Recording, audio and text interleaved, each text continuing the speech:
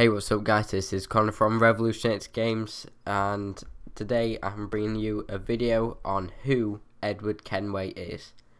I'm just to apologise straight away for my voice because I've got a cold but I still want to bring this video to you as soon as I could. I didn't want you to miss out on this video. First off, Edward Kenway uh, began as a young brash Welshman born to an English father and Welsh mother. He is charismatic and clever, but has a recklessness that borders on pathological. He is generally kind, but naturally selfish, and has a habit of valuing his own ludicrous ideas long before he will consider sensible or rational approaches to any problem, and he enjoys his drink, much to the detriment of his vital organs. So this guy is a rash, reckless uh, young person in this story with an English uh, father and Welsh mother. So, by the time Edward was in his early teens, his family had moved to Bristol in the southeast of England, where he eventually met and married a woman two years older than him, the lovely and stable Caroline Scott. By all accounts, the marriage was a lively one, but Caroline soon grew tired of Edward's inability to find steady work or take his responsibilities as a husband seriously. But it was Edward's ideas about sailing as a privateer in the West Indies and earning a fortune in gold that eventually disrupted what should otherwise have been a happy marriage. Caroline eventually left Edward to return to his family's modest home leaving Edward alone with his bitter ambitions. But much to everyone's surprise, he made good on this one promise.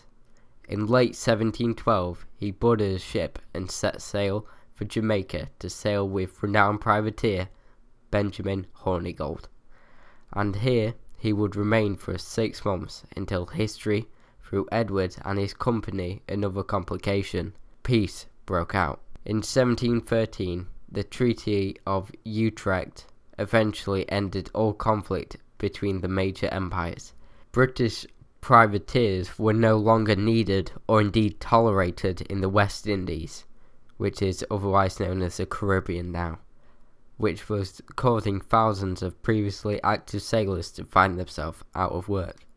Not the most ideal situation for these young and restless men.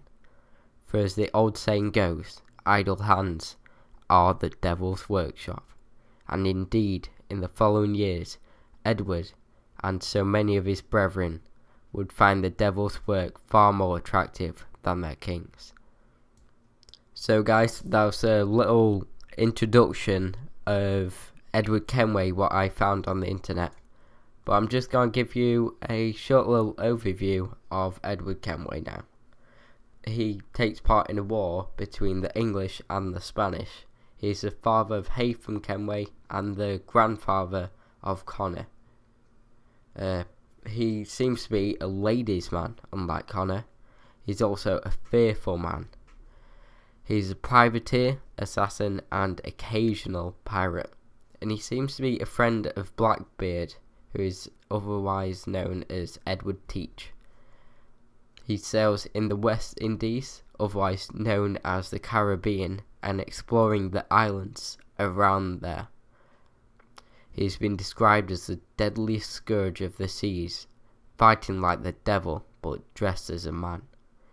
He also seems to be a, a mysterious man and a young British man that left the Navy to embrace piracy during the final decade of the golden age of piracy but his outfit seems to be quite a lot like Connor's with the blue on his chest and he just looks pretty awesome in my opinion. And this game has been confirmed to be out November 1st, which is not far off my prediction of October 30th, and it will be on PS3, PS4, Xbox 360, Xbox 720, Wii U, and obviously PC.